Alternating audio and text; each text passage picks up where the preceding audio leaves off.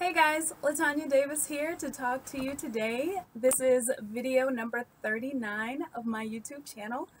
And before I start, I would like to remind you to subscribe to my channel, to like and comment if you have uh, you know, a comment you would like to add to any of them. So first, I would like to remind you that we are in a pandemic uh, going through it. So please be careful and take the proper precautions that you may need to protect yourself your family, and your community.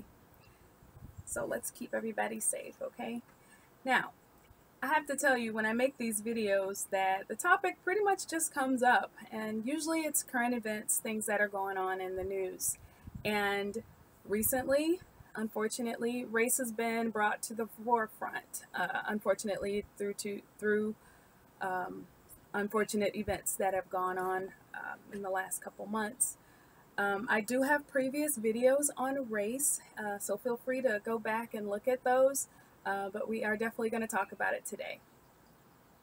So, as school officials are deciding what to do, when school should start, and as we start to see school supplies at the stores, um, it's time for me to talk to the teachers. I feel the need to talk to them today recently with all the race things going on we all kind of got a gut check on you know checking our own uh, you know how we feel or stereotypes that we have ourselves that maybe were brought up when we were kids.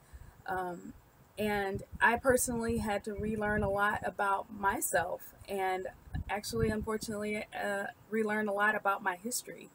Um, so one way of doing that is that a lot of people are doing is reading. So I started reading this book. Okay, and it's uh, so you want to talk about race. It's a really good book, very good author, and she basically read my mind uh, when the, with the things that I've gone through in my life. Um, and she kind of talks about being uh, black and working in a white um, culture workforce. And it's the, these experiences that she goes through kind of reminds me of things that I went through as a teacher. And so I related a lot to her, and it, it pretty much was me in the education field, the things that she talks about, um, the different situations, just basically reminds me of specific times where, like at my school, um, we'll be in a meeting and um, of teachers, and you know, we have, we'll talk about our students that live in the city, and a lot of the teachers would call them city kids.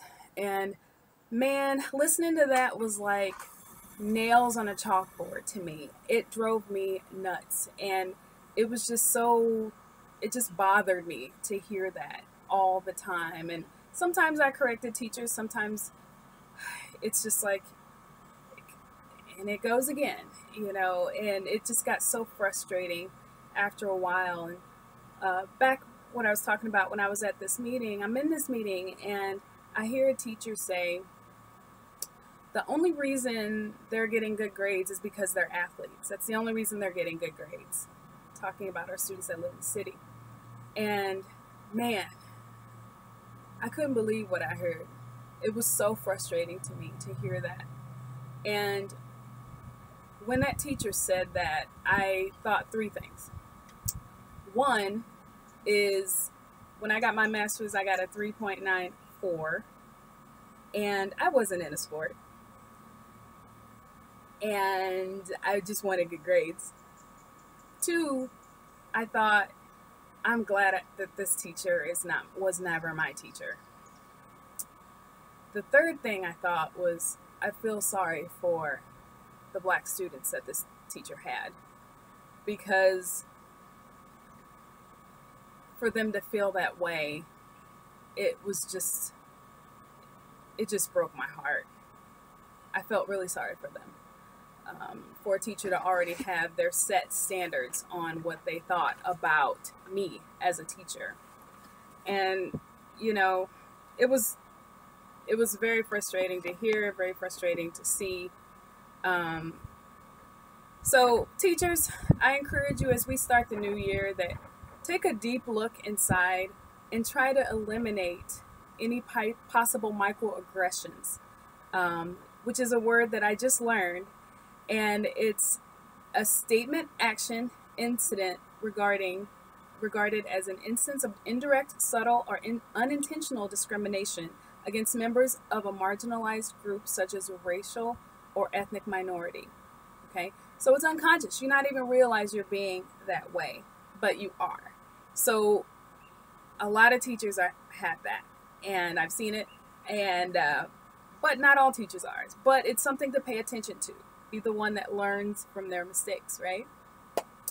You may not even realize you're saying it, and you know, just do a little research and think a little harder. Things that you do may not you may not realize that they may hurt someone else. I mean, just last week I had two two instances where women looked at me and clutched their purse. And it's not a good feeling to have someone do that to you when it's just not okay. It's just not okay. It's not a good feeling. I came home feeling like, why? Why would someone do that? It's just, it just, it hurts my feelings, you know?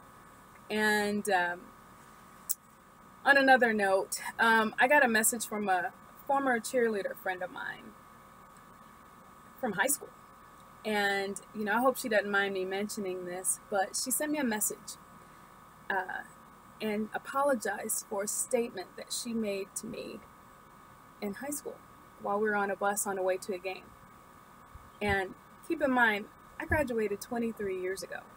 I mean, how big of a person is that to to contact me and tell me that she felt bad about something she said to me over 23 years ago.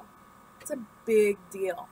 It's a big deal and I love and respect her for that because I completely forgot about it. Completely forgot about it. But she didn't. And she took time out of her schedule to contact me and apologize for that. And that's a big deal. And that's where it all starts, guys. We all learn that, you know, sometimes we say things that hurt others, but we learn from them and we grow. And, you know, we grow and we teach and we use it as learning experiences. She's a mother now, so she can teach her kids about, you know, making good choices and the things that you say and how they can hurt other people, you know, and that's a big deal. So, as we prepare for the school year in the fall, teachers, let's think before we speak to our students and coworkers of color. You don't have to ask about their hair. You don't have to ask to touch it. You can compliment on it, and that's okay. But if you have questions about race and you don't have someone that you feel comfortable talking to about it, ask Google. Ask Google. Don't ask your students because it may not seem like a big deal to you, but to ask about their race or culture, but if you're a teacher, it could be offensive to that student and it may make them feel inferior, and that's not okay. So let's keep that in mind. Be safe out there. Until next time, guys, have a great day.